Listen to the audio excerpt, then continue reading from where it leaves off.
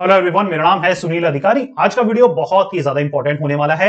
अगर आप B Com first year के स्टूडेंट हैं सेकेंड ईयर हो सकता है आपका चल रहा है, या फिर बीकॉम फिनिश ही होने वाला है, कुछ ऐसे बहुत ही ज़्यादा इंपॉर्टेंट शॉर्ट टर्म कोर्सेज की लिस्ट आपके सामने रखने वाला हूँ, जिनमें से एक ना एक शॉर्ट टर्म कोर्सेज आपको विद इन थ्री मंथ के अंदर अंदर कर लेना है।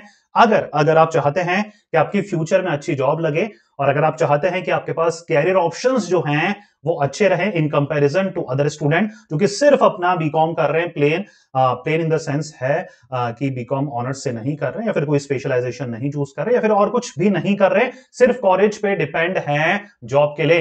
तो आई ओपनर वीडियो होने वाला है। रिक्वेस्ट करूँगा सभी बीकॉम स्टूडेंट से कि ये वीडियो पूरा देखिए क्योंकि ये एक सिंगल वीडियो आपकी लाइफ चेंज कर सकता है।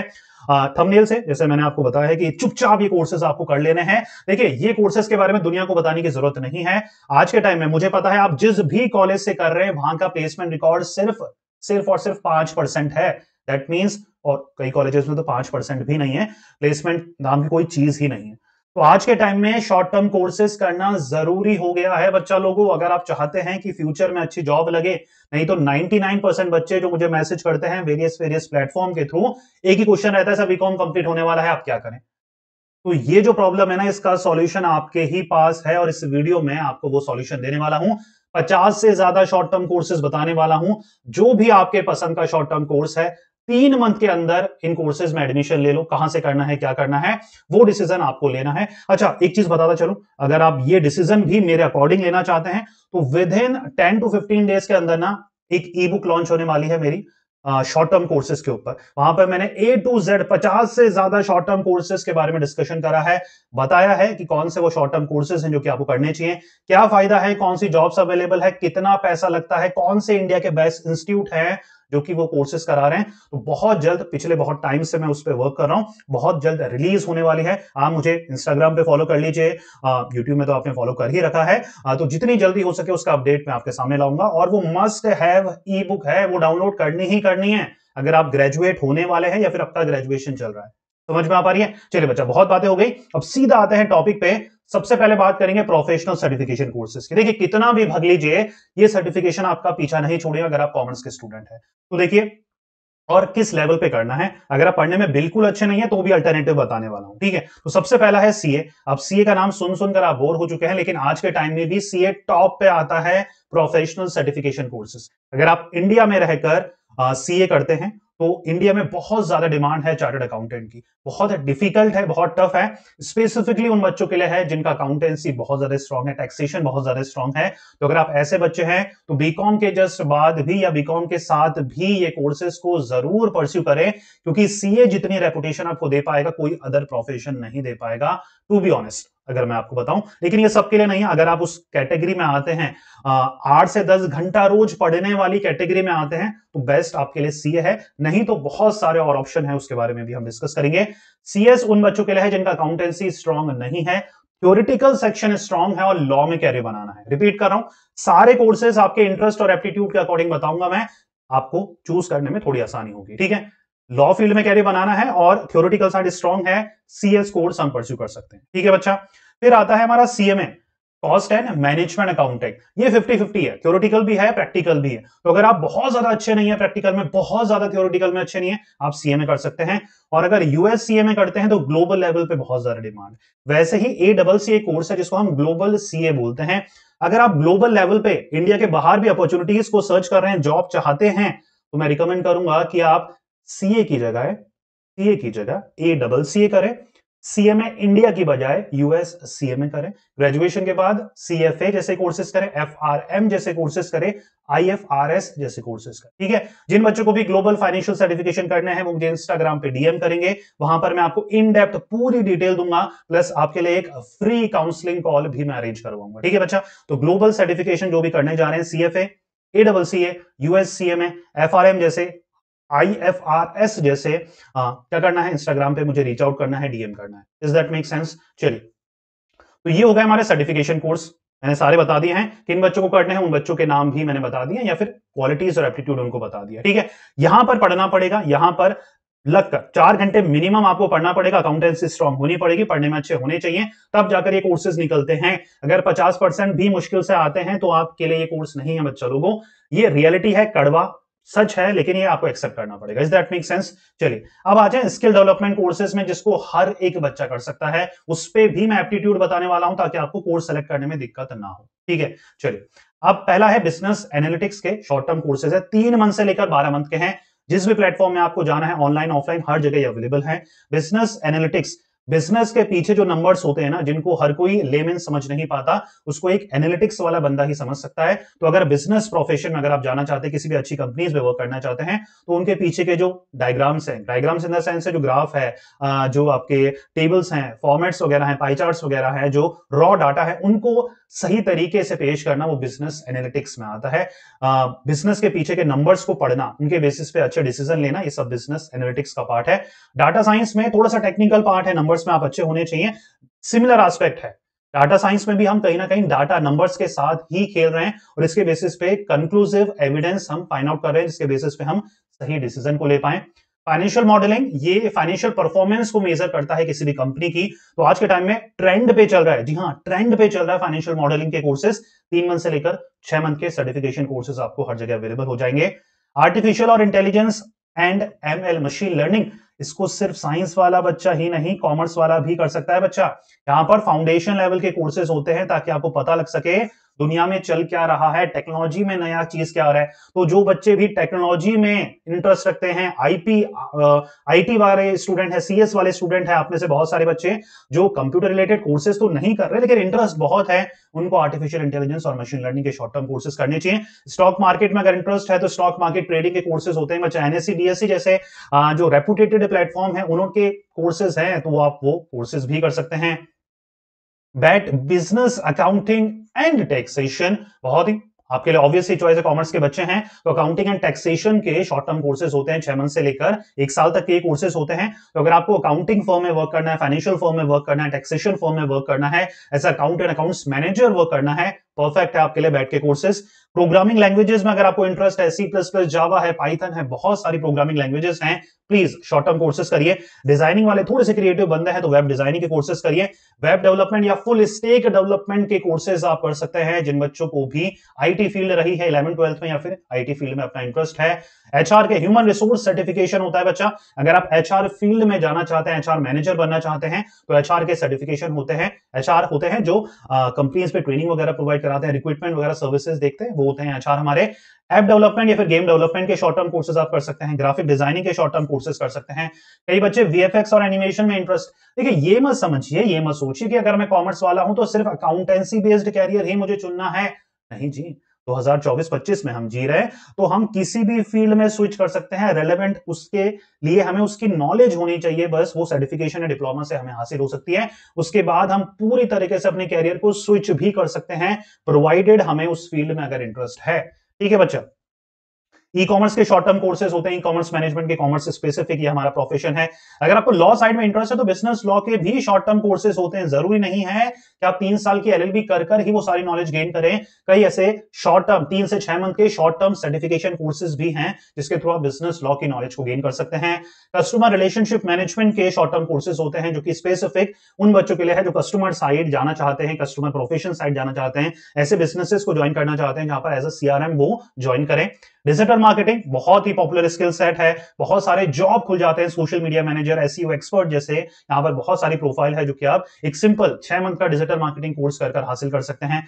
एथिकल हैकिंग और साइबर सिक्योरिटी में अगर आपको इंटरेस्ट है तो छह मंथ के यहाँ पर भी शॉर्ट टर्म कोर्सेज हैं। एमएस ऑफ़िस में एक्सेल की स्किल जो है, वो लाइफ चेंजिंग स्किल हो सकती है। फिफ्टी टू सिक्सटी थाउज़ेंड आप सिर्फ़ एक्सेल सीख के कमा रहे हैं, बहुत सारे मेरे स्टूडेंट ठीक है? तो आप सिर्फ़ एमएस ऑफ़िस अच्छे लेवल पे सीख कर खुद प्रोजेक्ट बेस पे मतलब फ्रीलांसर भी वर्क कर सकते हैं फिर अच्छे रेपुटेड कंपनीज़ को भी ज्वाइन कर सकते हैं। M I S executive M S Office executive Excel executive की बहुत सारी वैकेंसी निकलती है भर भर के। ठीक है बच्चा? सेप के courses system application and product ये हमारा डाटाबेस मैनेजमेंट सॉफ्टवेयर है। टैली का नाम सुना है, हो ही नहीं सकता कि आपने नाम ना सुना हो। तो टैली प्राइम आप कर सकते हैं, या फिर उससे एडवांस लेवल में कोर्सेज आपको बता रहा हूँ सैप ठीक है? तो आप सैप के भी कोर्सेज कर सकते हैं। कंप्यूटर लेवल अगर बिगिनिंग लेवल से स्टार्ट करना है तो ओ लेवल से आप स्टार्ट कर सकते हैं। उसके बाद ए लेवल आता है बी लेवल आता है सी लेवल आता है। सी लेवल है हमारा टॉप मोस्ट पीजीडीसीए या एमटेक लेवल का या फिर एमसीए लेवल का होता है हमारा सी लेवल यस और नो बिज़नेस कम्युनिकेशन बहुत ही इंपॉर्टेंट है आज के टाइम में, और स्पेशली कॉमर्स वालों के लिए, जिनको कहीं ना कहीं बिज़नेस फ़ील्ड में ही आगे करना है। तो उनके लिए शॉर्ट टर्म बिज़नेस कम्युनिकेशन के कोर्सेज होते हैं, जहाँ पर स्पोकन रिटर्न बिज़नेस एटिकेट्स जो हैं, वो आपको मैनरिज्म सिखाए जाते हैं। ठीक है बच्चा? अब आते हैं क्रिएटिव कोर्सेज पे। देखिए, मैं किसी स्टूडेंट को छोड़ने नहीं वाला हूँ। कोई एक्सक्यूज नहीं चलेगा कि, सर, मेरे पसंद का कोई कोर्स नहीं है। ऐसा हो ही नहीं सकता। मैं सारे कोर्सेज कवर करने वाला हूँ। अगर आप क्रिएटिव बनने हैं तो आप हॉस्पिटेलिटी के टूरिज़्म के इवेंट मैनेजमेंट तक के कोर्सेज होते हैं, बच्चा। एडवर्टाइजिंग और पब्लिक रिलेशन के कोर्सेज होते हैं।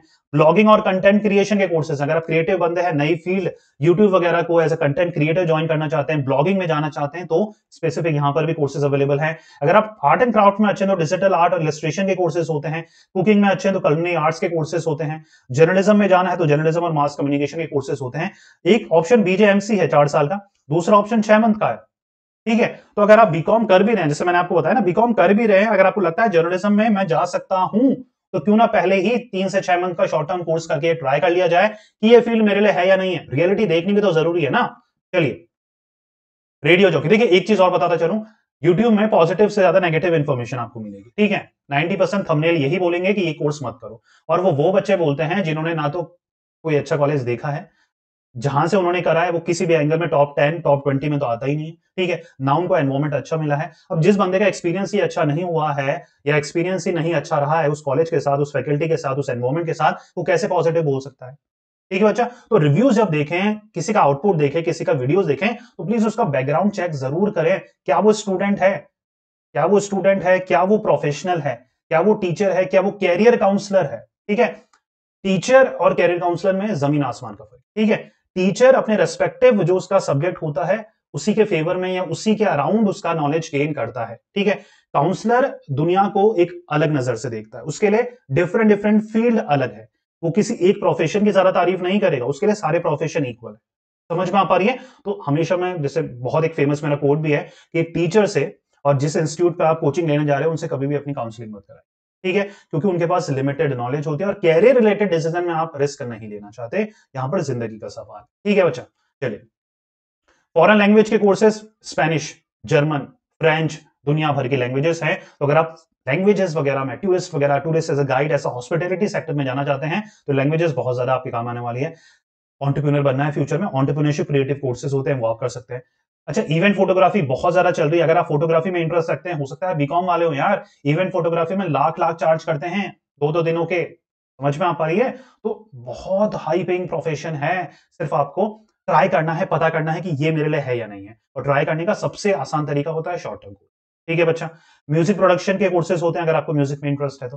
फिटनेस और न्यूट्रिशन अगर आपको इंटरेस्ट है तो यार लाखों कमा रहे हैं। स्टूडेंट ही तेईस चौबीस साल के बच्चे लाखों कमा रहे हैं फिटनेस और न्यूट्रिशन के शॉर्ट टर्म कोर्सेज करके, अपने वीडियोस वगैरह लॉन्च करके, अपने कोर्सेज वगैरह लॉन्च करके। ठीक है बच्चा? तो ये कुछ यहाँ पर क्रिएटिव कोर्सेज हैं। अब गवर्नमेंट जॉब की बात ना करूँ, ऐसा तो हो ही नहीं सकता। तो बहुत सारे बच्चे आप में से बीकॉम के साथ साथ गवर्नमेंट जॉब की तैयारी करना चाहते हैं। उनके लिए सिर्फ़ एक सजेशन मेरा रहता है, ये आपके लिए टॉप गवर्नमेंट जॉब्स है। बहुत सारी आपको पता होंगी। एस एस पता होगा आईबीपीएस पीओ पता होगा एसबीआई पीओ पता होगा RBI grade B L I C set civil services UPSC RRB railway recruitment board होता है, ठीक है? तो ये मेरी नज़र में seven to eight top highest paying government jobs है, जिसके लिए कॉमर्स वाले स्टूडेंट को तैयारी करनी चाहिए। लेकिन एक जो मेरी सिंगल एडवाइस है, वो ये है कि इनमें से कोई हमें एक कोर्स को चूज़ करना है और उसकी डेडिकेटेड तैयारी करनी है। डेडिकेटेड मतलब होता है कोचिंग के थ्रू प्लस सेल्फ स्टडी पहले कोचिंग आती है, फिर सेल्फ स्टडी आती है।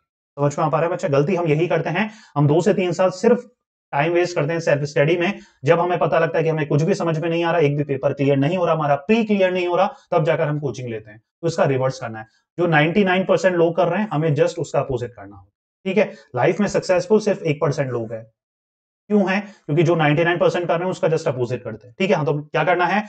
मेरी बात अगर रिलेट कर पा रहे हैं, समझ पा रहे हैं मेरी बात तो सबसे पहले आइडेंटिफाई करना है कि आप किस सेक्टर में जाना है। एसएससी में जाना है इंस्पेक्टर लेवल की पोस्ट बैंक में जाना है आईबीपीएस या फिर SBI RBI Reserve Bank of India के लिए जाना है या नाबार्ड के लिए जाना है, एलआईसी के लिए जाना है, सिविल सर्विस के लिए जाना है, आरआरबी के लिए जाना है। जो कुछ नहीं जानता है गवर्नमेंट जॉब के बारे में, वो कहेगा, सबका सिलेबस सेम है, सबके एग्जामिनेशन दो, कोई ना कोई एक में सिलेक्शन हो जाएगा। बिल्कुल रबिश है।